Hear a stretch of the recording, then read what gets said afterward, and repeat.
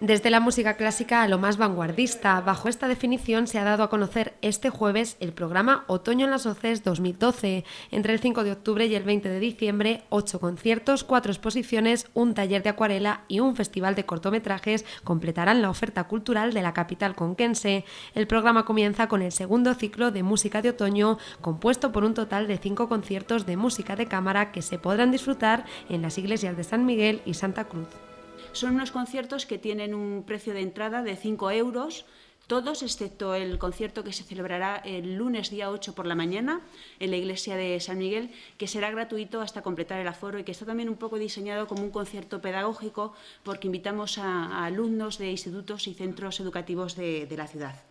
El Centro Cultural Aguirre acogerá entre el 17 y el 30 de octubre una exposición fotográfica de Jesús Cañas del Pozo. Del 19 al 21 de octubre, el ya tradicional taller de acuarelas impartido por Frutos Casado Lucas se instalará en la iglesia de San Miguel. Como novedad, se celebrará un festival de cortometrajes los días 23 de noviembre y 14 de diciembre. Los asistentes a las proyecciones que tendrán lugar en el Centro Cultural Aguirre serán además el jurado popular que decida el nombre del corto ganador.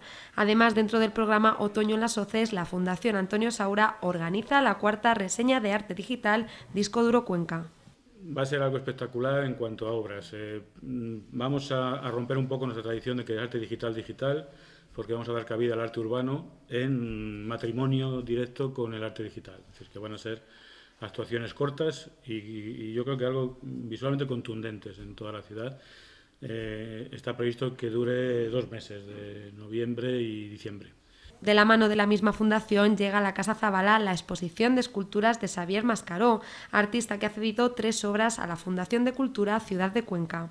Las piezas de Xavier Mascaró estarán expuestas tanto en la Casa Zabala y él ha tenido la amabilidad de ceder tres de las piezas para que las disfrutemos aquí en la sede de la Fundación de Cultura. Una de ellas, eh, la más grande, estará en la esplanada para que se pueda ver desde fuera y dos, un poco más pequeñas, que representan a dos músicos, estarán dentro, dentro del hall el duodécimo ciclo de polifonía de la provincia de Cuenca que organiza Pedro Morante con el coro del Conservatorio de la capital, la exposición Ciudadanos Libres de las dos Españas relacionada con el bicentenario de la Constitución de Cádiz y el tradicional concierto de villancicos populares en el Teatro Auditorio completan la programación cultural de este otoño.